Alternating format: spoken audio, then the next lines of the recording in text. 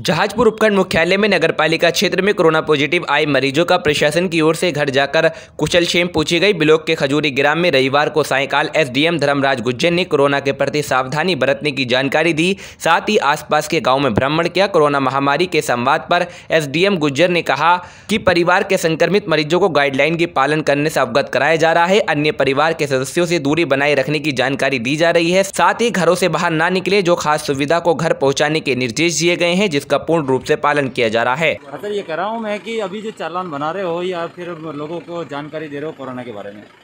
corona के बारे में लोगों को जागरूक करने के लिए अभी जो कोरोना पॉजिटिव आए हैं उनको हम मौके पर